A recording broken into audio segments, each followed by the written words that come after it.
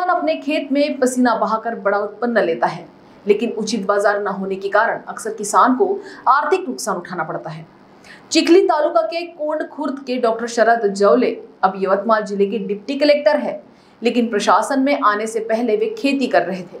अब उनके मार्गदर्शन में उनके बड़े भाई और पिता खेत का प्रबंधन करते हैं। आज तक डॉक्टर शरद जौले सोयाबीन अरहर और चना जैसी पारंपरिक फ़सलें उगा रहे थे। इसलिए कृषि के पूरक के रूप में उन्होंने तीन साल पहले अपने दो एकड़ के खेत में केसर के आम के बाग लगाए पैठन से केसर के आम के पौधे लगाए और दो एकड़ में 870 पौधे इसराइल सॉलिड तरीके से लगाए। और इस साल उन्होंने आम का उत्पादन शुरू किया। गहराई से जानकारी न होने के कारण उन्होंने यूट्यूब से जानकारी ली। इन तीन वर्षों में उन्हें लगभग साढ़े चार लाख रुपए का खर्चा आया। और इस साल आमों से होने वाली शुद्ध आय अब बिक्री का विषय है। उनके पास भी व्यापारी थे, लेकिन व्यवहार में उन्हें कई कठिनाइयाँ थी। उन्होंने सोचा, अगर हम बढ़ सकते हैं तो क्यों न बेचें? और उन्होंने इसे खुद बेचना शुरू कर दिया। क्योंकि डॉक्टर शरद जवाले वर्तमान में वानी में अनुविभागीय अधिकारी के रूप में कार्यरत है, इसलिए वे बाज़ार में आम नहीं बेच सकते थे। इसलिए उनकी पत्नी सुरेखा जवाले ने अपने जैविक रूप से उगाए गए आमों का विज्ञापन करने के लिए सोशल मीडिया का लाभ उठाया। उनमें से कुछ को मुफ़्त स्वाद के लिए दिया और उन्होंने अपना एक बाज़ार बनाया। इस सोशल मीडिया के माध्यम से उन्होंने अब तक लगभग 25 क्विंटल आम बेचे हैं और उनके पास अभी भी 8 क्विंटल से अधिक आम है। वे इसे बेच रहे हैं। केसर आम का बाग ज़िले में अपनी तरह का पहला है। ये प्रयोग अभी तक अन्य किसानों ने नहीं किया है और इस फ़सल के लिए जवाले का खेत भी चट्टानी था। इसलिए ज्ञानेश्वर जवाले ने इस बाग को लेकर अपने बेटे से नाराज़गी व्यक्त की थी। लेकिन उन्होंने कहा कि साहस ने इस नए प्रयोग को जन्म दिया है और ये सफल रहा है। इस खेत में जवाले परिवार काम करता है।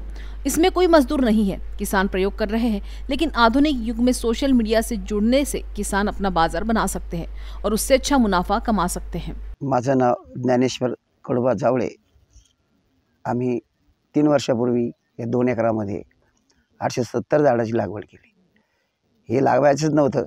पण साहेब म्हणत होते बा तुम्ही असं करा आपल्याला सातबाराला कधी जरा मी म्हणत होतो अरे आपल्याला आंबे जमणार नाही आपल्या जंगलात येणार नाहीत.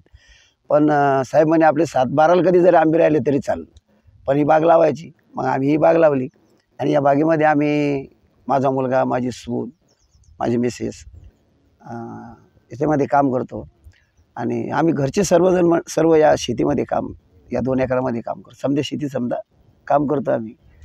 आणि याच्यामध्ये अं, ठिबकनं पाणी पाणी भरपूर पाहिजे बागेला.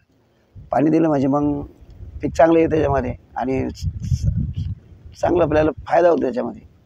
ही जी आंब्याची शेती आम्ही दोन एकरामध्ये चा आठशे पन्नास झाडं लावले. तर ह्या वर्षी त्याला फळबाग आल म्हणजे फळ आलेले आहे. तर आम्हाला मार्केटिंग कशी करायची याचा प्रश्न पडला होता. तर जेव्हा आम्ही मार्केटिंगसाठी आम्ही बसूनसुद्धा विकू शकत नव्हतो मार्केटमध्ये. तर खूप म्हणजे बाबापुढेही खूप प्रश्न पडला होता का आता हे ऐकायचे कसे? मग आम्ही माझी फोर व्हीलर आहे त्याच्यामध्ये मी दहा बॉक्स म्हणजे एक क्विंटल आंबा मी फर्स्ट टाईम नेला. तर बऱ्याचशा लोकांना टेस्टिंगसाठी दिला पहिला आणि सोशल मीडियाचा हे घेऊन थोडंसं जाहिरात वगैरे केली. तर ज्या जे दहा बॉक्स होते ते दहा बॉक्स जेव्हा पिकले आणि त्यांनी नॅचरल पद्धतीचा खाल्ला तेव्हा आम्हाला म्हणजे जवळपास चाळीस पन्नास बॉक्सची ऑर्डर आली. तर एका बॉक्समध्ये साधारण दहा दहा किलो आंबा होता. तर नंतर खूप हे जा म्हणजे विकायचा कसा विकायचा कसा पण छान त्या वणी जे आम्ही तिथे राहतो तिथे छान लोकांनी आंब्याला प्रतिसाद दिला. हा निसर्ग पद्धती नॅचरल आंबा असल्यामुळे छान प्रतिसाद मिळाला. अपने सपनों की उड़ान भरने की इच्छा तो हर किसी की होती है। पर पंख भी तो मज़बूत होने चाहिए।